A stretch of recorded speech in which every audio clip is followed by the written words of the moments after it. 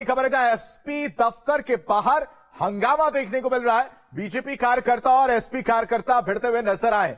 रामचरितमानस लेकर एसपी दफ्तर पहुँचे थे बीजेपी के कार्यकर्ता। अखिलेश को चौपाई का मतलब समझाना चाहते हैं बीजेपी के कार्यकर्ता, ये बोलते हुए नज़र आए। बीजेपी कार्यकर्ताओं ने एसपी कार्यकर्ताओं के साथ भिड़ंत देखने को मिली है।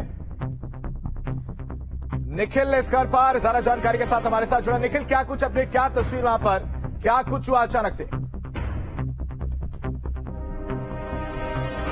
देखिए कानपुर से कुछ सिख समुदाय के लोग पहुँचे थे जो अखिलेश यादव को रामचरित मानस की प्रति भेंट कराना चाहते थे और इसके साथ ही उनको जो उस चौपाइया उनका मतलब समझाना चाहते थे। लेकिन उसी दौरान जब वो सपा कार्यालय पर पहुँचे तो कुछ समाजवादी पार्टी के जो कार्यकर्ता यहाँ पर आमतौर पर मौजूद रहते हैं उन्होंने यहाँ पर उनका विरोध किया। उनका ये कहना था कि जब अखिलेश यादव पार्टी कार्यालय में है नहीं तो ऐसे में यहाँ उनको प्रति भेंट करने का क्या वजह है कि सस्ती लोकप्रियता पाने का तरीका और यही वजह है कि जो यहाँ पर भारतीय जनता पार्टी के जो लोग थे वो पहुँचे थे रामचरित मानस की चौपाइयों को लेकर और उसकी प्रतियों को लेकर।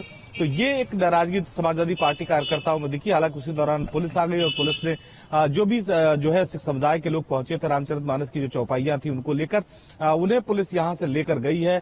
क्योंकि यहाँ माहौल न बिगड़े, इसलिए पुलिस बड़ी संख्या में मौजूद थी और थोड़ी देर पहले इसी जगह पर जब भारतीय जनता पार्टी के कार्यकर्ता पहुँचे थे रामचरित मानस की चौपाइया लेकर तो समाजवादी पार्टी के लोग इसका विरोध कर रहे थे। लगातार उत्तर प्रदेश में अगर हम बात करें तो रामचरित मानस को जो लेकर जो राजनीति है वो तेज होती चली जा रही समाजवादी पार्टी इसको लेकर बहुत ही गंभीरता के साथ और बहुत मुखर है। और यही वजह कि आप देखिए चाहे स्वामी प्रसाद मौर्य हो चाहे समाजवादी पार्टी के और नेता हो लगातार रामचरित मानस की उन चौपाइयों को लेकर सवाल खड़े कर रहे हैं। जिनको लेकर स्वामी प्रसाद मौर्य ने शुरुआत में सवाल खड़ा किया था। हालाँकि बीजेपी ने इसके इस पर पलटवार कई बार किया। बीजेपी ने साफ़ कहा कि रामचरित मानस की जानकारी नहीं दरअसल समाजवादी पार्टी को, जी। ठीक है, निखिल, तमाम जानकारी देने के लिए आपका बेहद शुक्रिया। बढ़ते आगे, बड़ी खबर का रुख करते यूपी में ग्यारह आईपीएस अफसरों के